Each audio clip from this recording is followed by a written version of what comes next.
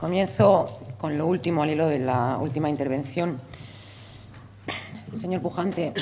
esto no va a solucionar la siniestralidad en la región de Murcia. Como usted mismo ha dicho, es un grano de arena, pero muchos granos de arena hacen bajar. por lo tanto, es algo importante, es un paso importante y un paso importante en el que la Consejería está comprometida. Y eso también es importante decirlo aquí esta mañana. Yo quiero agradecer, porque he entendido también por parte del Grupo Parlamentario Socialista el apoyo a esta iniciativa. Quiero agradecer el apoyo de los dos grupos parlamentarios en la oposición. Y aquí no se ha hablado de cómo se va a desarrollar este, estos temas. Sí que es cierto que no son transversales, son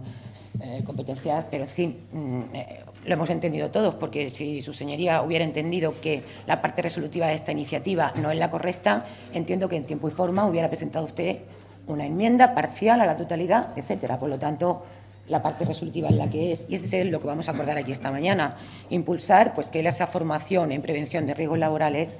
se pueda dar de forma transversal, de forma competencial, de forma curricular, pues dentro de los centros de educación primaria y secundaria en nuestra región.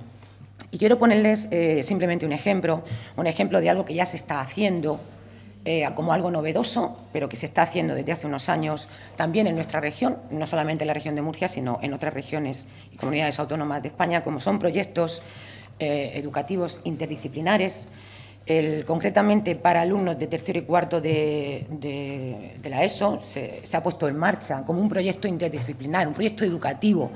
no como una asignatura más, eh, en la ESO, en la educación secundaria obligatoria. Concretamente es el, proyecto Empresa Joven Europea, diseñado pues, para el desarrollo de ese espíritu emprendedor en educación secundaria. Nosotros, la intención nuestra es no decirle a la Consejería cómo tiene que desarrollar o impulsar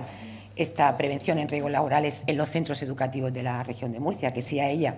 lógicamente en colaboración, estrecha colaboración con los centros educativos, quienes la diseñen, pero podría ser este un ejemplo a través de estos proyectos educativos, como por ejemplo Empresa Joven Europea para secundaria o Emprender en mi escuela, también es otro proyecto educativo interdisciplinar que está llevando a cabo la Consejería de, Educación, un proyecto dirigido a alumnos de educación primaria en el que el alumnado, para que todas sus señorías lo conozcan, crea y gestiona una cooperativa durante el curso escolar. Son ejemplos de cómo la transversalidad de lo que es la cultura emprendedora afecta a todos los ciclos, en este caso de primaria o secundaria, a la hora de emprender,